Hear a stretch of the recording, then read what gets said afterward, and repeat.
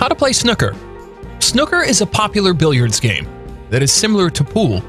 Snooker is played on a rectangular snooker table with six pockets, one at each corner and two in the middle. Object of the snooker. The object of snooker is to pocket the balls legally according to the rules and to score more points than the opponent.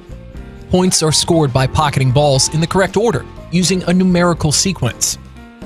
What you need to play snooker a snooker table, a cue stick, a white cue ball, 15 red balls, 6 colored balls, including yellow, green, brown, blue, pink, and black. Points or scoring. Points are scored in two ways. 1. Points for fouls by the opponent. 2. Points by legally potting reds or colored balls. Each legally potted red ball has one point, and each legally potted color ball has a different point value. Yellow, 2 points, green, 3 points, brown, 4, blue, 5, pink, 6 points, and black, 7 points. Game setup. Each of the colored balls has a specific location on the table.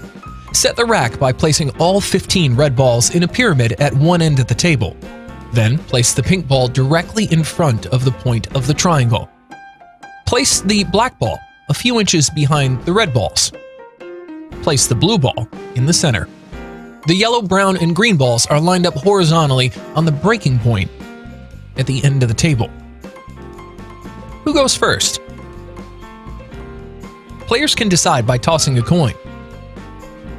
The player who wins the toss has the choice of going first or can ask the opposing player to initiate the tiebreaker. Let's start the game. The game of snooker begins when the first player places the white cue ball anywhere inside the D. Now players hit the cue ball with his or her cue stick towards the red balls so that the cue ball hits the red balls. Each turn, until the red balls are off the table, you must hit a red ball first with the cue ball. Points are scored by potting the right balls in the right order. If players pot the red ball, this red ball will stay in the pocket. Now the player will try to pot any of the colored balls. Make sure to say which color ball you're trying to pot. If you successfully pot that colored ball, then that color ball will be returned to their designated spot on the table. If the color ball doesn't fit on its spot, then the color ball goes on the highest valued spot available. If all of these positions are occupied, then place the respotted ball as close as possible to its original position on a straight line between its spot and the nearest point on the top cushion. If you pot that color ball, then you score the value of the color ball plus one point for potting the red ball. For example, if you pot the blue ball with the red ball, you will earn 6 points. 1 point for red ball and 5 points for a blue ball. If the player pots a legal ball, then that player will continue his or her turn until he or she fails to pot a ball. This is called a break. A break is the number of points scored by a player in a single visit to the table. After each turn, players' next shot must be at a red ball again. Continue the game in this way until all of the red balls go into a pocket. When all the red balls are gone, then you have to pocket all the color balls in this order. First, the yellow ball. Second, green ball. Third, brown. Fourth, blue. Fifth, pink. And last, the black. Fouls and penalties. In these following situations, you will lose your turn and your opponent will get a minimum of 4 points, or the value of the ball, whichever is greater. For example, if you're playing a green ball, but you hit a black ball, then the opponent will earn 7 points.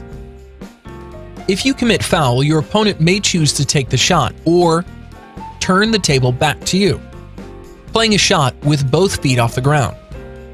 If your cue ball first hits a ball other than the ball you're trying to play, then you don't earn any score, but your opponent scores the value of the ball pocketed. If you touch any ball on the table, then the penalty is the value of the ball touched or 4 points. If your cue ball does not hit anything on the table. If you pot the cue ball. If you pot the incorrect ball in the wrong sequence. Jump shots are illegal in snooker. If any of the balls land off the table. Playing a push shot, a shot where the cue, cue ball, and the object ball are simultaneously in contact. If the cue ball leaves the bed of the table and jumps over a ball, What is snooker? Snooker is a term used to describe a certain scenario. Snooker is when there's no direct path between the cue ball and the ball you're trying to hit. In order to make this happen, you'll usually have to make a kick shot where the cue ball bounces off one or more of the rails before it actually hits the target ball. Free ball. If you commit a foul and your opponent is snookered on all balls, he is allowed to select any ball on the table as a free ball for this shot only. When the snooker game ends, the player with the most points at the end of the game wins. In few situations, the game will end if a player resigns because there aren't enough balls on the table to make up for the opponent's score, and if the player does not have enough options to make a good snooker to force the opponent into a foul. If the scores are equal after potting the black ball, the black ball is respotted, then toss a coin. The player who wins the toss will choose who will take the first shot at the black, and the player places the white cue ball anywhere inside the D. The first foul, or pot, ends the game. If you like the video, hit the like button, and don't forget to subscribe to our YouTube channel.